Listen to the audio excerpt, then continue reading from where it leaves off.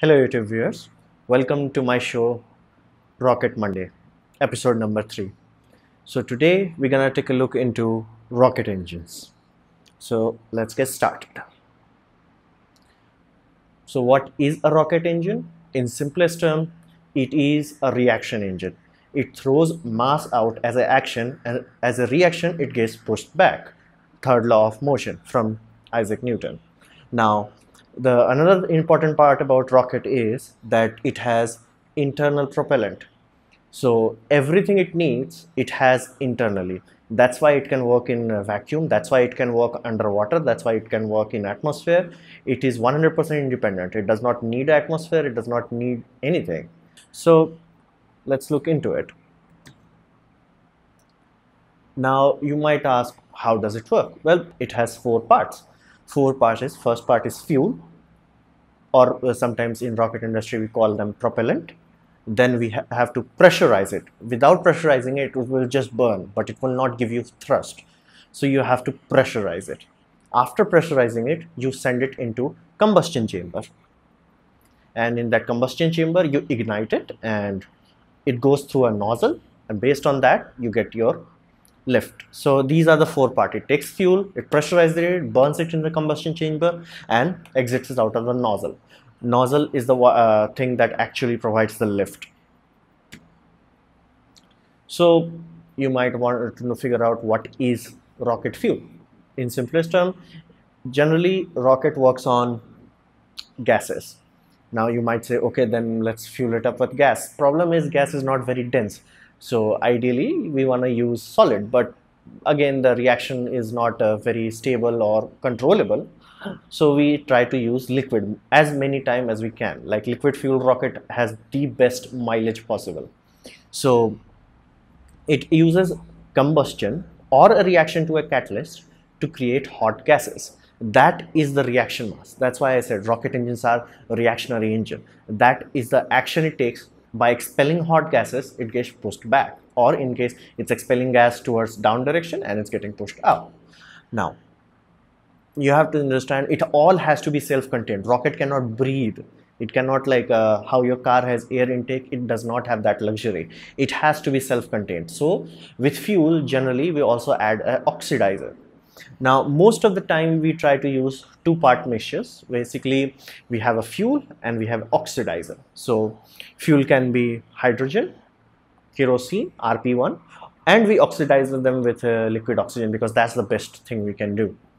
And uh, we try to keep them as cold as possible and SpaceX has made some uh, unique strides around uh, their co cooling uh, RP1 also they uh, super cool liquid oxygen.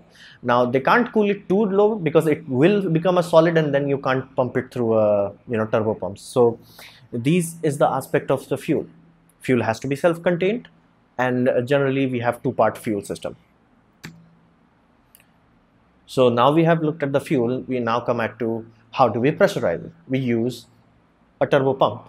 Now turbo pump in simplest sense think of it as a turbocharger and only difference is much more complicated. It works at much more extreme temperature. The cold side goes up to uh, as cold as liquid hydrogen. The hot side goes as high as the uh, melting temperature of the metal. That's why these things are so expensive. They are working at the extreme temperature range. And they are also responsible for throttling the rocket engine. This is uh, where the computer tells the turbocharger to like you know whether I want to more power this will spin up faster. They want less power this will spin up less. To drive these things uh, we can do few things. You can have battery power like how electron rocket does. You can have a separate which is most commonly used a gas generator where you burn the fuel with oxidizer but generally you don't burn it to 100% because if you do that the temperature will go too high. So we generally have too much oxygen little bit of fuel and it creates hot gases. You don't want it to be like you know 3000 degrees celsius because it's gonna melt it. Like we don't make it out of magic things. It's gonna melt. So uh, we have a gas, a gas generator that controls this and this is what pressurizes the fuel. So now you have a fuel now you have pressurized it now what? Now we put it into the combustion chamber. Suffice to say it is the most hot and the most stressed out part in the system. Now, this part actually goes to full combustion. Like this is literally at the edge of melting point. It requires cooling a lot of cooling. Like there are certain aspects that we can be used like uh, inside of these chambers can be coated with some sort of abrasion like uh, graphene. So you get uh, you know abrasion. As it burns off uh, it cools your system but generally they are not very generally they are not very popular. So we generally run liquid hydrogen or kerosene or sometimes even liquid oxygen although that is not popular through uh, around the chamber walls to keep it cool because it's almost at the melting temperature. So this is the most hottest part in a rocket and this requires the most advanced metallurgy possible. So now we have fuel now we pressurize it now we burnt it. Next step. So now we have looked at the fuel how we pressurize it, how we burn it, and uh, then we have to come at the final stage of a rocket, rocket nozzle.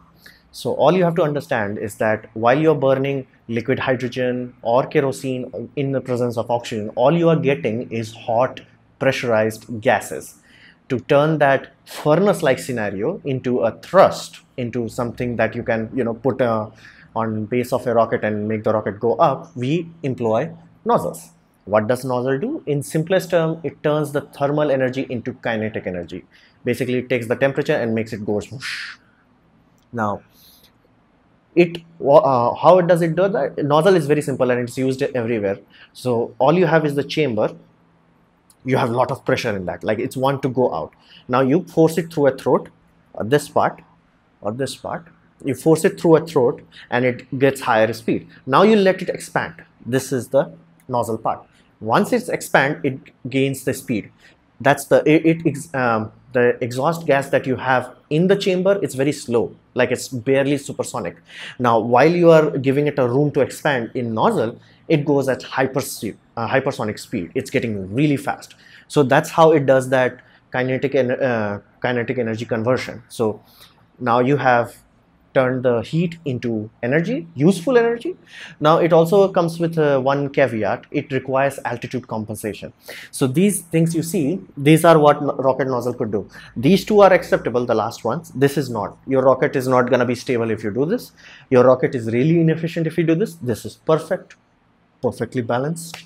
And this, what happens uh, when you have nozzle that is over expanding now, because of atmospheric pressure drops as your rocket is going up, you have to understand you can't design one nozzle that can take care of it all. So how uh, we compensate is that if we have multi-stage rockets, we simply say, okay, on the first stage, which is uh, working under atmosphere, we're gonna have a nozzle that is uh, suited for that. And if we have an engine that is firing in vacuum or like, you know, upper stage of a rocket, it will have an engine, that, uh, engine bell or nozzle that works in vacuum. So this is how we convert the thermal energy into actual physical kinetic energy.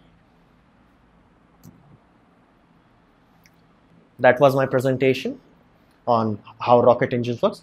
Thanks for watching. I hope you guys have learned something. And if you liked it, please like. If you dislike it, please dislike, leave a comment and subscribe. And if you're free, please press the bell icon. Thanks for watching.